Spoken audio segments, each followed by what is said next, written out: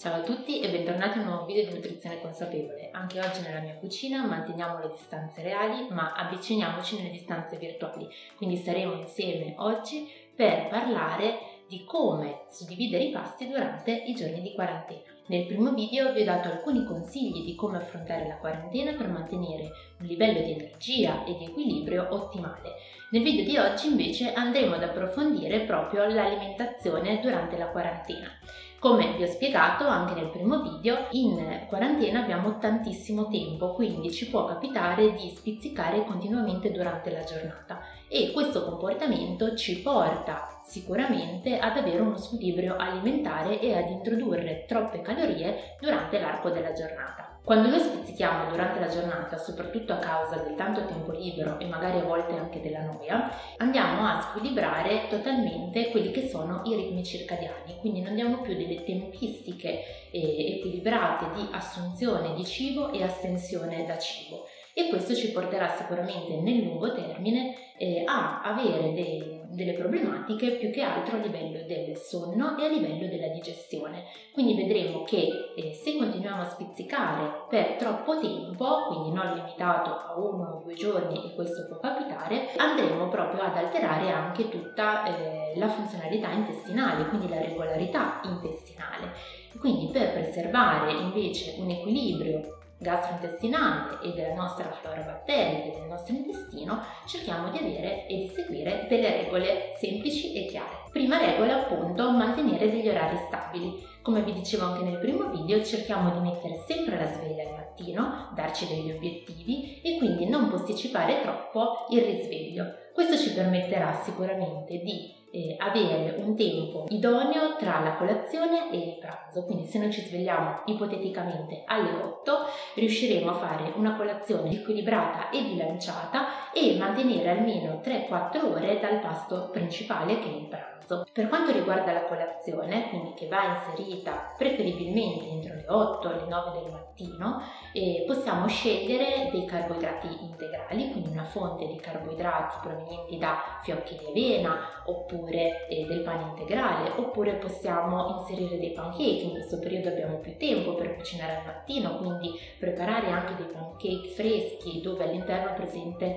anche l'uovo, quindi una fonte proteica, oppure possiamo inserire anche la granola eh, o dei cereali senza zuccheri aggiunti. Un altro nutriente da inserire durante la colazione è una fonte proteica, quindi possiamo scegliere uno yogurt magro o uno yogurt greco, oppure possiamo fare una colazione salata con del pane di segale e eh, un affettato magro o della ricotta, eh, che ci permetterà di essere più sazi durante la mattinata. Infatti la quota proteica impiega eh, maggiore tempo nella digestione e nell'assorbimento e questo ci permetterà di arrivare più sazi all'ora di pranzo. Ricordiamo di inserire sempre nella colazione anche una fonte di idratazione, quindi un tè, una tisana, una tazza d'orzo, oppure mantenendo sempre la quota proteica anche una tazza di latte, cremato o intero in base alle nostre esigenze nutrizionali. Bilanciando bene la colazione del mattino saremo più sazi durante la prima mattinata, quindi fino all'orario di pranzo e sicuramente anche più energici.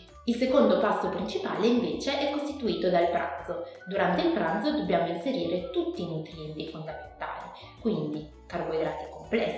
in modo particolare possiamo scegliere anche cereali integrali che impiegano maggior tempo, quindi magari nella nostra quotidianità non abbiamo tempo di cuocere del riso venere, del farro o dei cereali comunque che impiegano circa 40 minuti, in questo caso abbiamo tutto il tempo per preparare i nostri cereali integrali e possiamo anche sostituirli alla pasta o al pane. Possiamo avere due opzioni per il o scegliere di inserire la quota di carboidrato e delle verdure, in questo modo andiamo a ridurre quindi la quota proteica all'interno del pasto che andremo ad aggiungere poi la sera.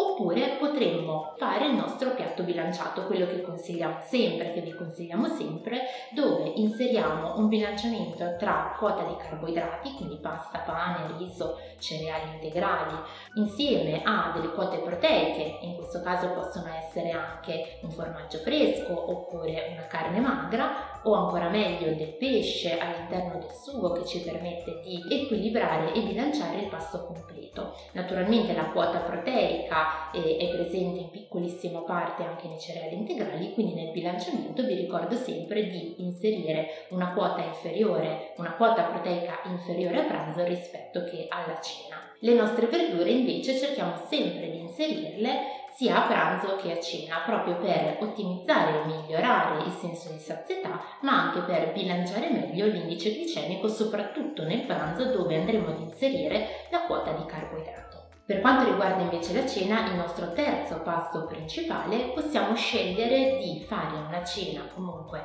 eh, più leggera rispetto al solito, proprio perché il nostro dispendio energetico in questi giorni si sta riducendo, quindi siamo un pochino più sedentari rispetto al solito e quindi possiamo alleggerirla riducendo in parte le quantità. Nella cena consiglio sempre comunque una fonte proteica, una piccola quantità di carboidrato e naturalmente le nostre verdure che ci permettono di avere maggiore senso di sazietà e soprattutto eh, andiamo a completare il piatto anche arricchendolo di vitamine e di sali minerali. Queste sono alcune tipologie di come suddividere i nutrienti durante la giornata, però ci possono essere anche dei casi eccezionali ad esempio eh, persone che preferiscono inserire il carboidrato alla sera o comunque una quota eh, maggiore di carboidrato alla sera e allora in quel caso dovremmo andare a bilanciare nei tre pasti principali le nostre quote di carboidrati, proteine e grassi. Ricordiamoci sempre anche di inserire eh, una piccola quota di grassi buoni, quindi provenienti principalmente dall'olio d'oliva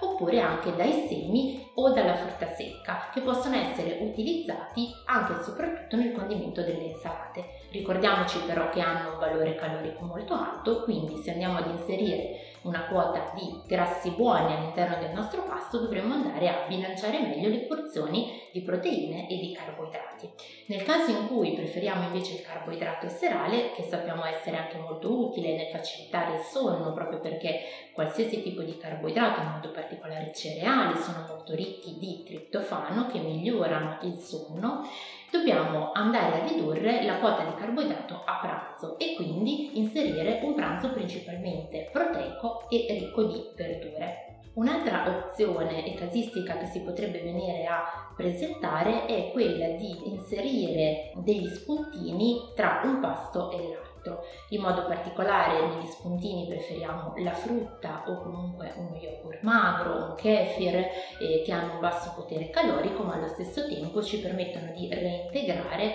anche quelle vitamine o quei fermenti lattici nel caso dello yogurt o del kefir che permetteranno una regolarità intestinale durante questo periodo un pochino più sedentario. Un'altra cosa molto importante è lo spuntino post cena. Siamo a casa, quindi magari la sera guardiamo la tv, non siamo impegnati in altre attività ed è per questo che ci può venire fame. In questo caso nessuna preoccupazione, andiamo solo a suddividere meglio i nutrienti, le calorie nel pasto serale, quindi andiamo a ridurre eh, leggermente quelle che sono le quote caloriche nella nostra cena, magari riducendo la quota di carboidrato o la quota proteica e poi andiamo ad inserire un piccolo spuntino prima di andare a letto. In questo modo potremo andare a mantenere le quantità caloriche eh, opportune per il nostro fabbisogno e allo stesso tempo tempo suddividere quindi questi due pasti e non avere fame nel, nel dopo cena. Lo spuntino che io consiglio nel dopo cena, quindi sempre comunque distanziato dalla digestione della cena, quindi almeno un'ora e mezza, due ore,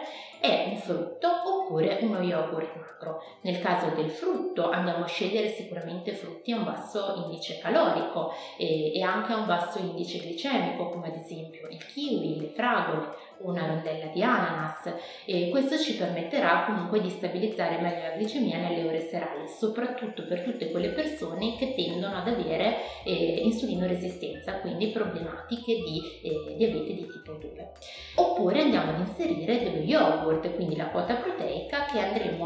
ridurre poi nella cena. Quindi se noi sappiamo di inserire una piccola quota proteica prima di andare a dormire, andremo a ridurre quella quota proteica, quindi quella quantità di proteine nella nostra cena, quindi riducendo carne, pesce oppure latticini e uova. Possiamo anche inserire della frutta secca ricordandoci che presenta vitamine, soprattutto vitamina e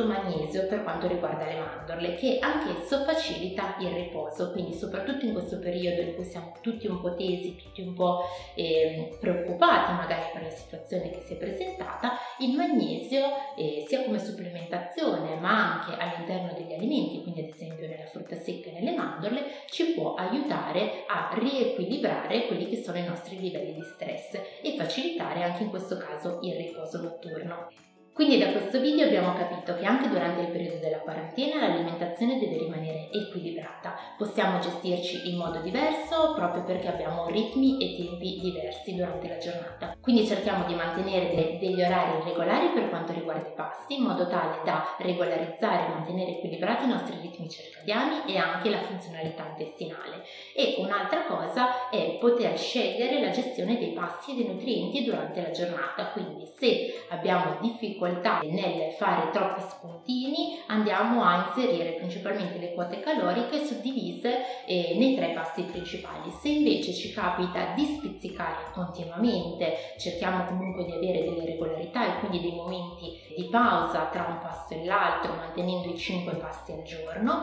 con spuntini leggeri e allo stesso tempo eh, ricchi di vitamine e minerali come la frutta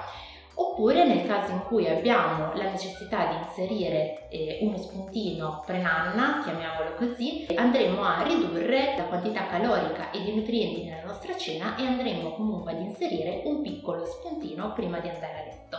Quindi come avete visto le variabili sono tantissime nella gestione del nostro piano eh, nutrizionale quotidiano e settimanale canale. Spero che anche con questo video abbiate qualche consiglio in più che vi possa aiutare nella vostra quotidianità. Vi mando come sempre un abbraccio grande e virtuale e noi ci vediamo al prossimo video.